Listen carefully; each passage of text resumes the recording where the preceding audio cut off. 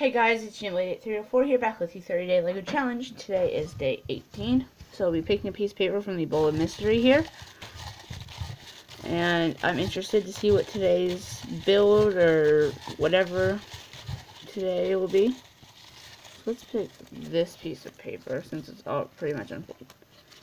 Build an arsenal of various weapons. Okay. So that's going to require that I use this case here which has all my weapons and all my minifig stuff. I'll, if you guys want me to do a tour of this to show you how this works, let me know. So my old one is now over there in the closet. But anyway, so I'll be back after I build some weapons. These weapons I built one at a time. And here we have this grappling hook I built a while ago, but you know, it's still still useful. So you can probably have it facing like that and the grappling hook can unwind. This is actually made of dental floss, which is sounds really weird, but it actually works really, really good.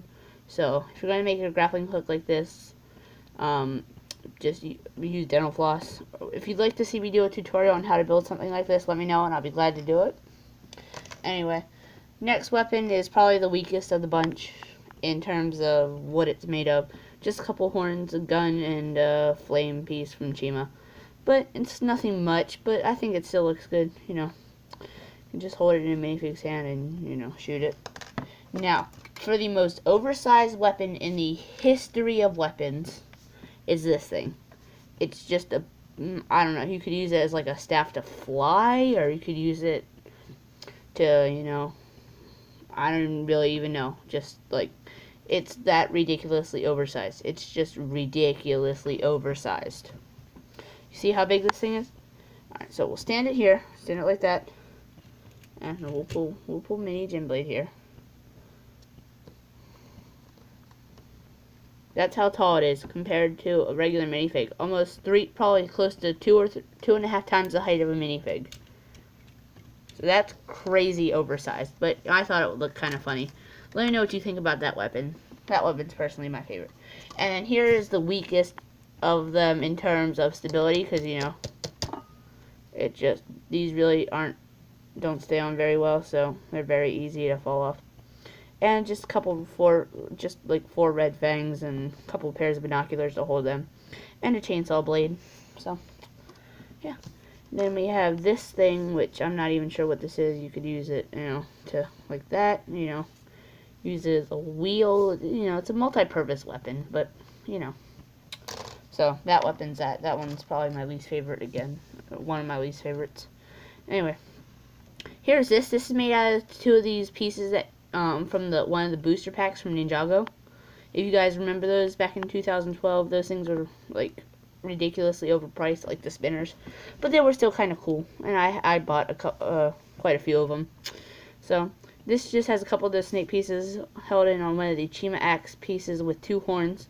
So these really I mean, they can come off, but they're not really supposed to. You can have them spread out like that, or, you know, you can have them really however you want to.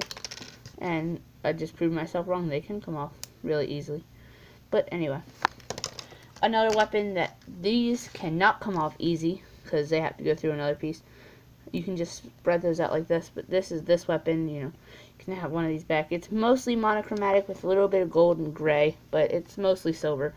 So, you know, and then these could come up like this at one point or like that, which could look really cool. But that's another weapon I built. And this weapon is kind of real it's really really weird, but I kind I really like it. So it has a purple blade here, so you could use it like, you know, you could use it like you spin it around and then if an enemy sneaks up behind you just like that, you know, backhand it, and, you know. Anyway, so, and then it uses one of the telescope pieces, and I think like a pogo stick kind of leg from like a skeleton that could be used with a skeleton. And I just added a couple of these mace pieces that I had lying around from when I built something else. And added those on just to make it, just to make it look really kind of weird. And the last weapon I built is this, which could just be a drill. It's just basically, it's just a drill. And there are four fangs on in the green color, which which uses the the one by one brick with studs on four sides, and then uses one of the lightsaber hilts and the lightsaber blade, the longer lightsaber blade in black. But those are all the weapons I made. Let me know what you think about them. You know, but this one in particular, because this one is ridiculously oversized. Just, just because, you know. Anyway, thank you guys so much for watching. I'll see you guys in the next video. This is Djinnblade8304 signing off. Bye.